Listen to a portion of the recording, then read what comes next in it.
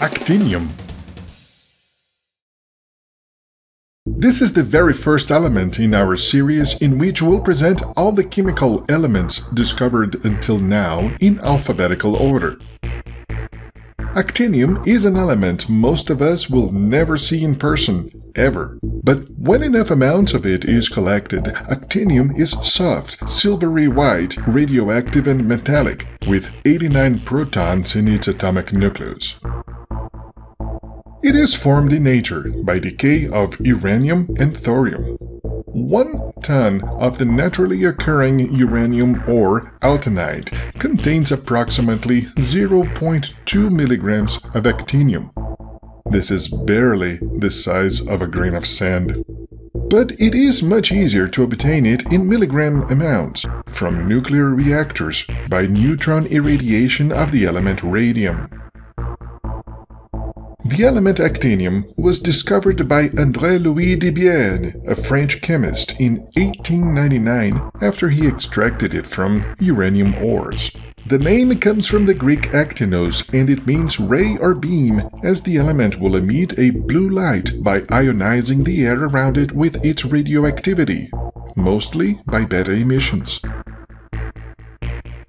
With symbol AC, actinium is the first element of a group called actinides with atomic numbers varying from 89 actinium to 103 lawrencium. Actinium has a 22,000 year half-life, meaning half of a sample will decay into different elements of the actinide group within that period.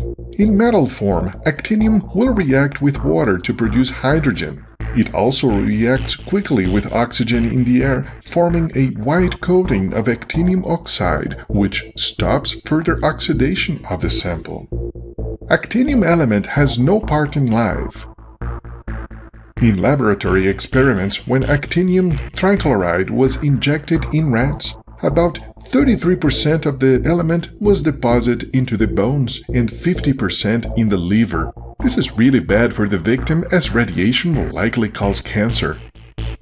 Ironically, it can be a good source of neutrons and an agent for radiotherapy used in treatments of the same disease it causes. Actinium is one of the rarest naturally occurring elements and only trace amounts of it can be found in nature. It occupies the bottom 8 least abundant elements, and it has no significant industrial application because it is very expensive to produce it. Do you like what you see? Support this channel. Subscribe. Like.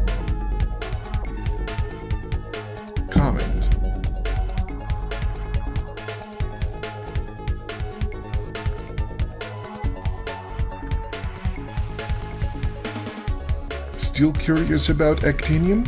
Links to other informative materials can be found in the description area below. Thank you.